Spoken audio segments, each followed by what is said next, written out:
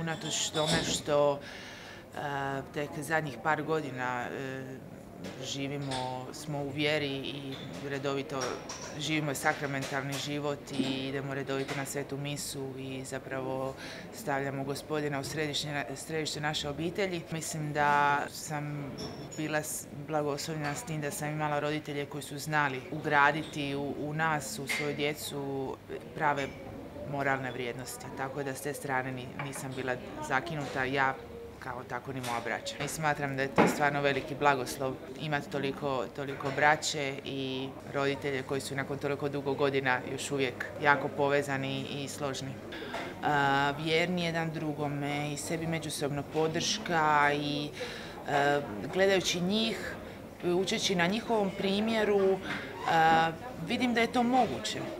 Kršten sam u tajnosti E, moja majka i moja teta su to napravili u tajnosti. Otac je radio u državnoj službi i sigurno je njemu to bilo na neki način e, jedna, jedna otežavajuća okolnost e, u tom smislu, tako da je cijelo to moje djetinstvo bilo opterećeno u tom smislu.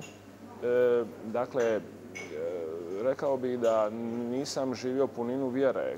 Smatram da je ono što najvažnije meni bilo u, u osjećati sigurnost unutar obitelji, a ona proizlazi isključivo iz stabilnog, odnosa mama i tate.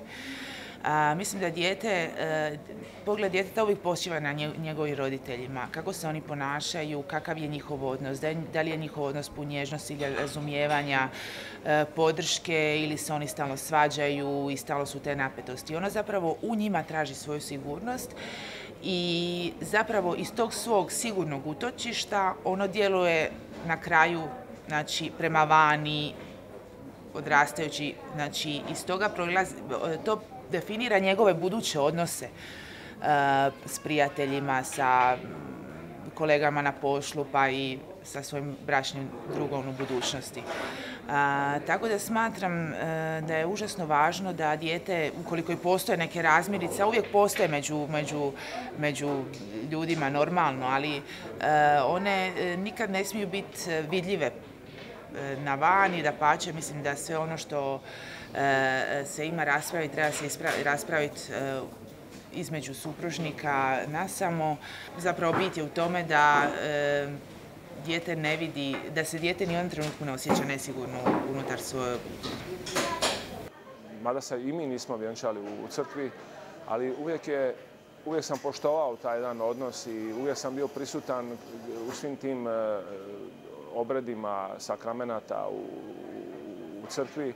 Moja, supruga i sa svećanikom našim Rankom je stalno govorila, ono, poticala me da napravimo to, taj sakrament crkvenog vjenčanja. Sve se to na neki način odgađalo, odgađalo, sve do tog trenutka kad je u stvari Marin, moj najstariji sin, na neki način inicirao sve to i to se na neki način desilo onako interesantno. Naše to inicijalno obraćenje je relativno svježe.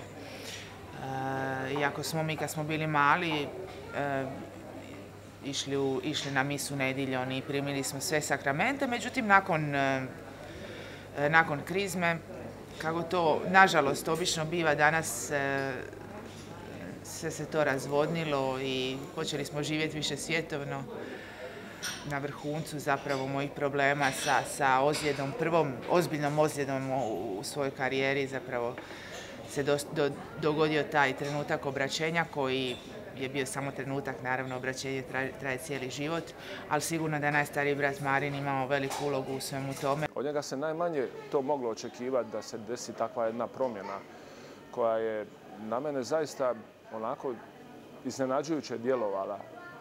Možda sam prije od Blanke mogao to očekivati, mada su sva moja djeca e, su prešla sve sakramente. E, tako da se puno toga promijenilo u životu moje obitelji u tom smislu.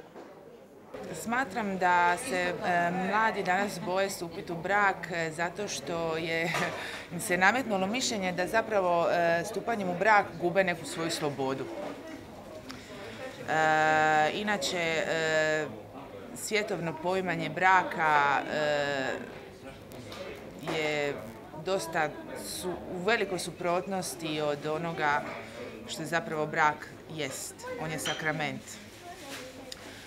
E, a prema tome, e, kad se gleda u, toj, u tom svjetlu braka kao sakramenta, kao prilike da se e, dajemo i žrtvujemo za drugu osobu i za svoju obitelj, on, on postaje puno vrijedniji nego ono, nego što ima vrijednost zapravo sada u, današnjem sekularnom svijetu gdje on zapravo izgubija dostojanstvo. Zašto se danas mladi boje stupiti u brak? Jedan sustav vrijednosti je potpuno nekako na, pred kolapsom. Jednostavno zagoraju se neke, neki, neke, neke vrijednosti, neki sustavi koji naprosto potpuno dezorijentiraju mlade.